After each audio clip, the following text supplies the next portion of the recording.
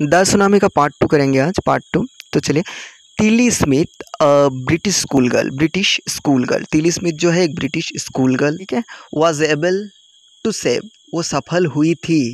Save बचाने में many lives बहुत ज़िंदगी when the tsunami struck Phuket beach in Thailand जब सुनामी ने स्ट्रक किया था, प्रहार किया था फुकेट बीच पे इन थाईलैंड तब उसने बहुतों की जान बचाई थी। दो शी हैज़ ओन इसलिए उसने जीता था या उसने प्राप्त की थी अ नंबर ऑफ़ अवार्ड्स बहुत सारे अवार्ड्स मिले थे उसे। Her parents have not allowed their daughter to be interviewed on television and made into a heroine तो उसकी पिता माता उसकी जो पिता माता थे, वो नहीं चाहते थे कि उनकी डॉटर को इंटरव्यूड किया जाए। इंटरव्यू लिया जाए टेलीविज़न पे और उसको हीरोइन बनाया जाए, सबके सामने दिखाया जाए उन्होंने मना किया था। Why do you think they took that decision तुम्हें क्या लगता है?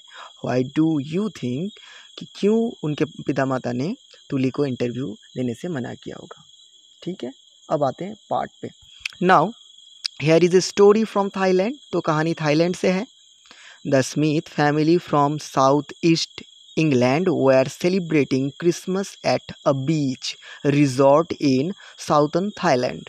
The Smith family from southeast England Smith family जो कि साउथ ईस्ट इंग्लैंड से हैं वो आर सेलिब्रेटिंग वो मना रहे थे Christmas at a beach resort resort क्या होता है? एक प्लेस होता है जहाँ पर लोग छुट्टियों में जाकर रहते हैं, वहाँ पर कुछ दिनों के लिए ठहरते हैं तो रिजॉर्ट तो बीच के, पास था वो, समुद्र तट के पास.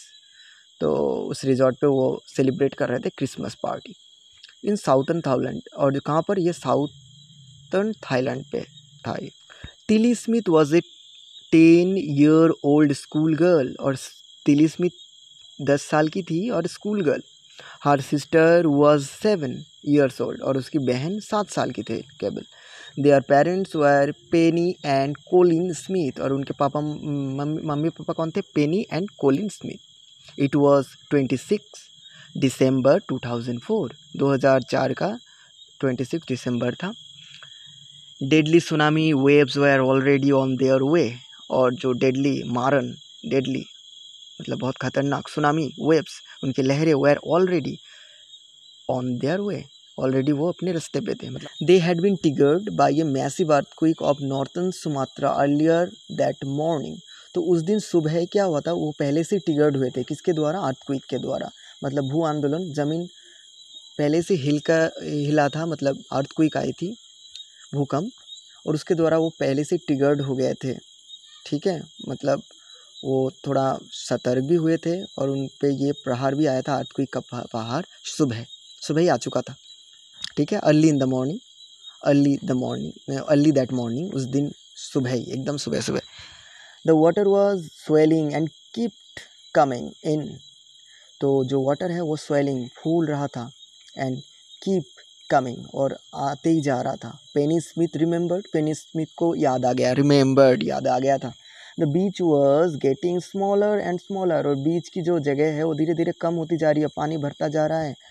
I didn't know what was happening उस, मुझे नहीं पता क्या होने वाला है।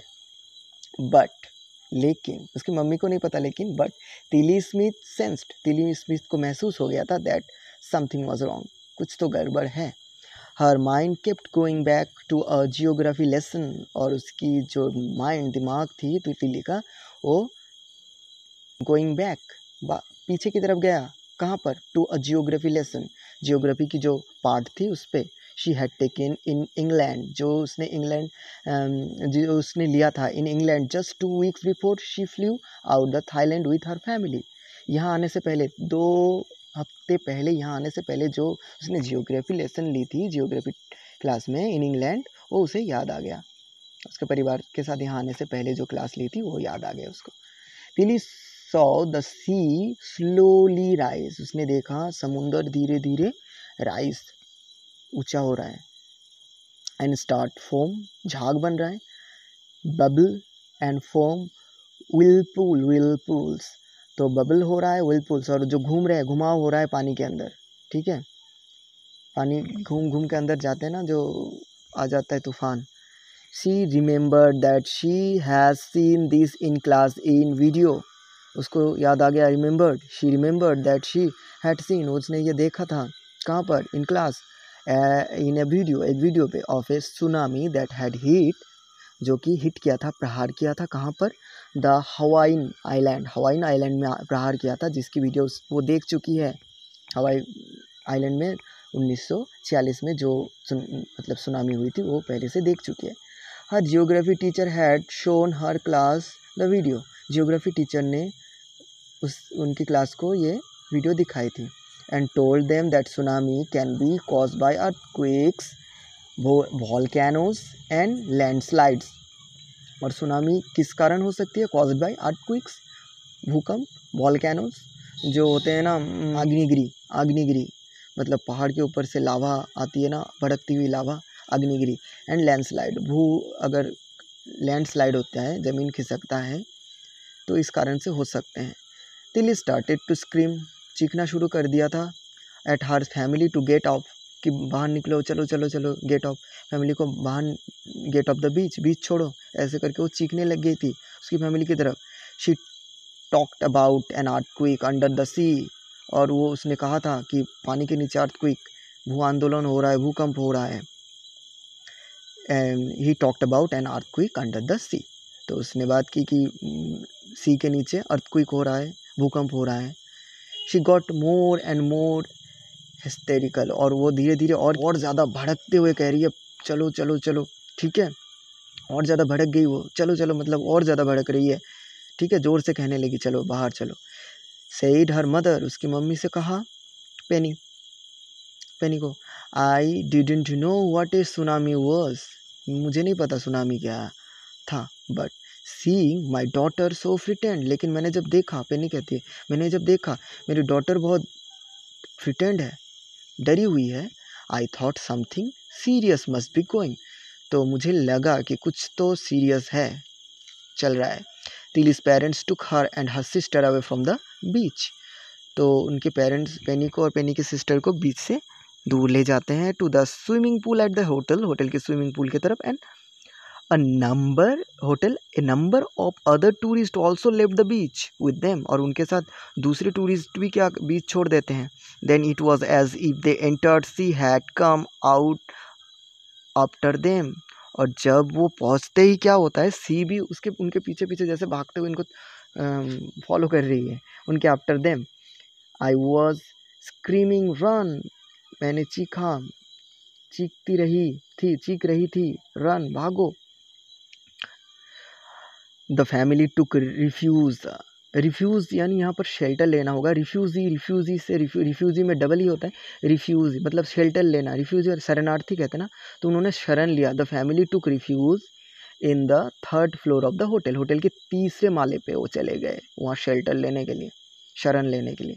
The building withstood the shock of three tsunami waves तीन सुनामी वेव्स को झेला मतलब बिल्डिंग ने, ठीक है? फिर क्या हुआ? If they had stayed on the beach अगर वो बीच पे रह जाते they would would not have been alive वो जी, ज़िंदा ही नहीं रहते। The Smiths later meet other tourist who had lost entire family Smiths मतलब स्मिथ के फैमिली ने दूसरे फैमिली से मिल, मिले जो अपने पूरे फैमिली को उन्होंने खो दिया who had lost entire families thanks to Tilly Tilly को धन्यवाद and her geography lesson also मतलब इसकी जियोग्राफी लेसन को भी they had been forwarded Tilly went back to her school in England and told her classmates her terrifying tale वो जब जियो मतलब तिली जब गई थी इसमें Tilly went back to her school school गई थी इन इंग्लैंड एंड टोल्ड और उसने कहा था हर क्लासमेट उसके क्लासमेट को हर टेरीफाइंग टेल्स उसकी जो ये खत, डरावनी टेल्स कहानी है वो बताई थी। ठीक है? अब देखिए, ये डायरेक्ट हम लेसन से शुरू कर देंगे थर्ड यूनिट तो लेसन यहाँ से शुरू करते हैं before before the giant wave slammed into the coast in India's and Sri Lanka wild and domestic animals seemed to know what was about to happen जब ये जाइंट दानव जैसा wave slammed into the coast in coast in India and Sri Lanka Sri Lanka और India के तट में जब वो ये मतलब पटका मतलब आया wild domestic wild and domestic जो जंगल के जानवर हैं और जो डोमेस्टिक जानवर हैं एनिमल्स सीम टू नो जैसे उनको पता चल गया था। What was about to happen क्या होने वाला है?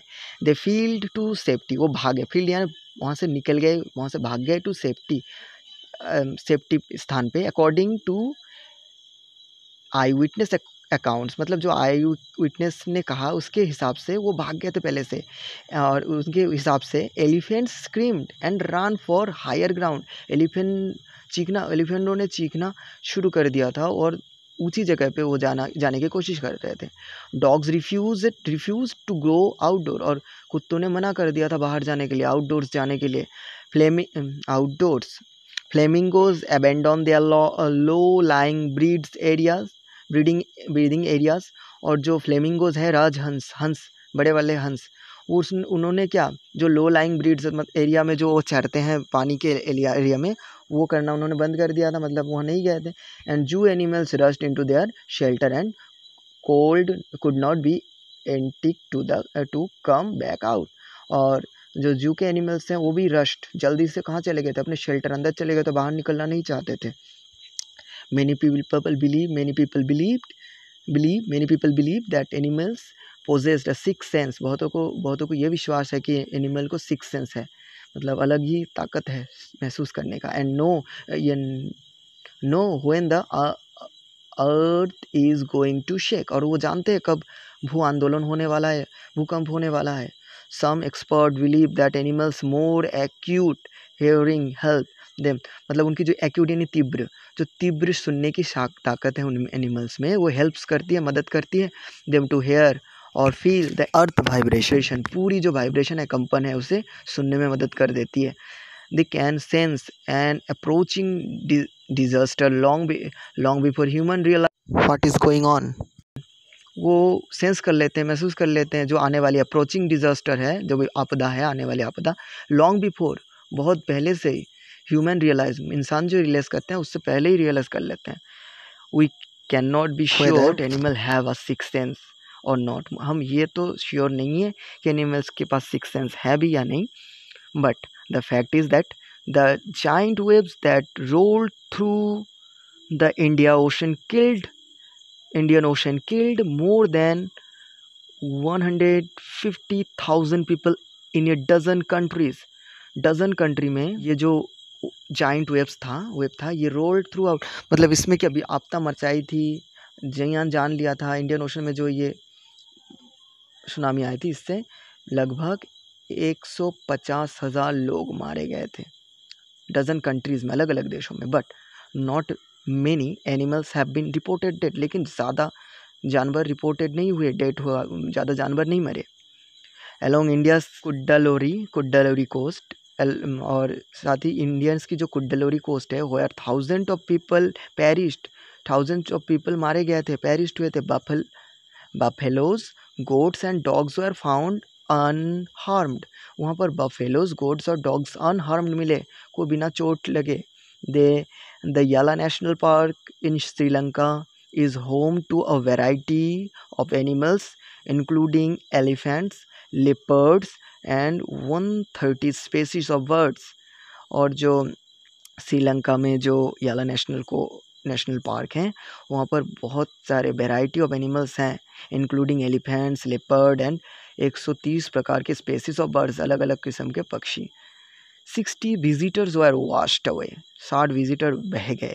From the Patanangala Patanangala beach inside the park park के अंदर जो बीच है वहाँ पर वो बह गए। बट लेकिन no animal carcass carcasses were found carcasses यानी मृतदेह मतलब लाशें नहीं मिली एनिमल्स के।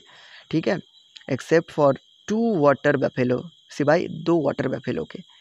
About an hour before the tsunami hit people at Yala national park had observe three elephants running away from the Patanangala beach और जो about one hour before मतलब ये सुनामी होने के एक घंटे पहले लगभग peoples at Yala national park had observe उन्होंने ये ऑब्ज़र्व किया, देखा कि तीन जो एलिफेंट्स है, वो भाग रहे थे वहाँ से दूर, पत्ता पतनगला बीच से पतनगला बीच से Sri Lanka Lanka gentleman who lives on the coast near Gully said his two dogs would not go for their daily run on the beach. तो श्रीलंका में एक जेंटलमैन है जो वहाँ पर ही नियर गली वहाँ पे रहते हैं, नियर उस कोस्ट के नियर गली वो क्या कहते हैं कि उनके जो दो कुत्ते हैं ना would not go for their daily run वो ऑन द बीच वो बीच के लिए रोज़ जो दौड़ने जाते हैं, वो नहीं गए थे। दे आर यूजली एक्साइटेड और साधारण तो वो इस जाने के लिए एक्साइटेड रहते थे, बहुत उत्साही रहते हैं।